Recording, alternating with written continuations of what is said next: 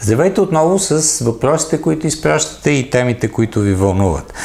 В тази сесия ще коментирам въпрос на Лидия Кръстева, който е какво е мнението за новия формат на квалификацията? Защо месец преди началото на шампионата се приема толкова радикално решение? А, Константин Димитров също изпраща въпрос с това как да бъдат коментирани решенията, които са взети по отношение на промените във Формула 1. Има и доста други такива подобни въпроси, свързани с промените в правилата.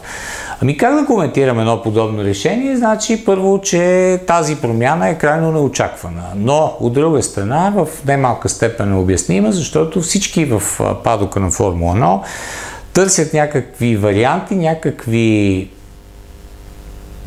пътища, по които Формула 1 да стане отново по-атрактивна, по-интересна и по-непредвидима като, като развитие на състезанията.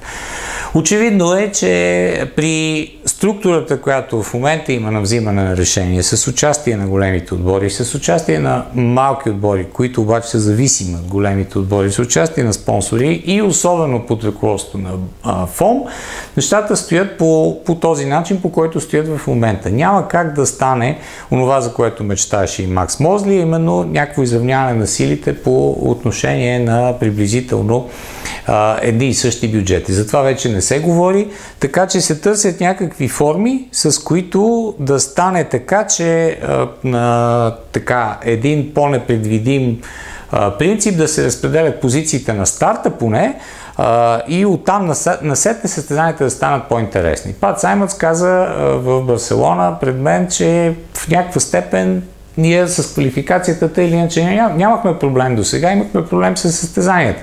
Това, което каза а, Бърни, което пред един британски вестник, което взриви буквално падока, Действително е така, че хората се разочароват от едно състезание, в което имаш един тим, изявен фаворит, било то Red Bull, било сега Mercedes и естествено, че интересът се губи. Търси се някакъв начин, така че да накараме най-силните, най-бързите и тези, които в крайна сметка притежават най-добрите автомобили, да отидат по-назад на стартовата решетка. И чрез този в някаква степен хазартен начин организация на, на квалификацията, поне за известен период от време, ние можем да разбъркаме а, картите. Но а, лично според мен това едва ли ще се случи. Дори в а, влизането на формата на тази квалификация първо, че не е съвсем ясно дали до Гранд При Испания, когато това трябва да се случи средата на май месец, пак няма да има един куп промени. Но дори и да се случи, не е съвсем сигурно, че именно Мерцедес или Ферари, примерно, ще бъдат тези отбори, които ще се объркат при е, построяването на своята стратегия в хода на квалификацията. Изобщо за целия уикенд с избора на допълнителния комплект гуми за всеки пилот. Тъй, че нещата пак рано или късно много бързо ще се подредят, както и с този допълнителен комплект гуми, тъй като всеки бързо ще натрупа преднина и когато един отбор разполага с 120 милиона и разполага с 1000 души персонал, друг разполага с 120 души персонал или с 500 души, какъвто е случая с Уилямс, значи Мерцедес 1200, Уилямс 550. Питайте се какво прави всеки един човек допълнително в Мерцедес. Нали? Естествено, че не стои без работа. Прави нещо, което дава точно тая а, крайната м- стотна, хилядна от секундата, с която едните побежават другите. Просто фактите са такива.